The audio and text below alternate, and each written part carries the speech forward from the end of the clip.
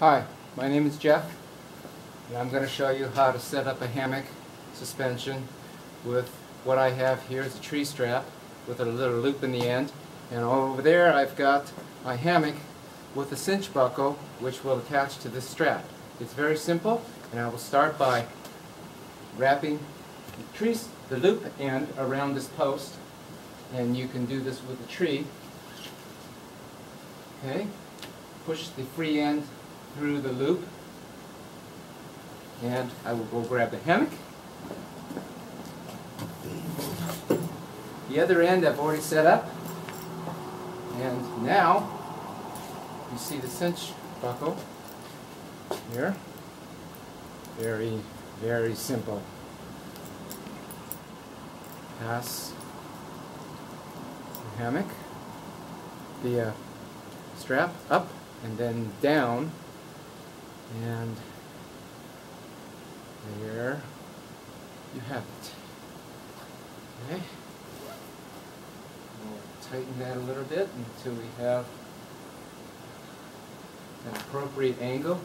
Some people like to hang this at 30 degrees to the horizontal.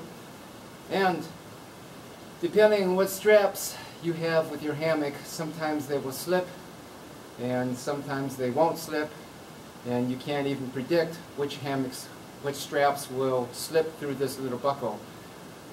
To prevent that from occurring, you bring your strap, the free end of the strap, forward and bring it underneath and push a loop through the upper loop here that I have next to my finger and you're all done. That'll keep you from slipping. And now, to test this, I will sit in the hammock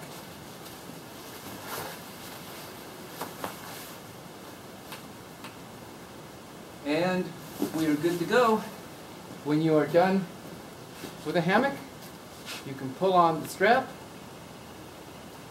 raise the buckle,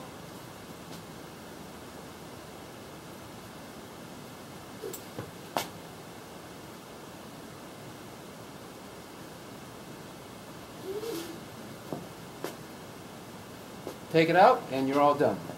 One thing to make sure, when you do put this in, try to remember not to let the ham, let the strap go a little bit crooked. Try to keep it straight if you can. That's it.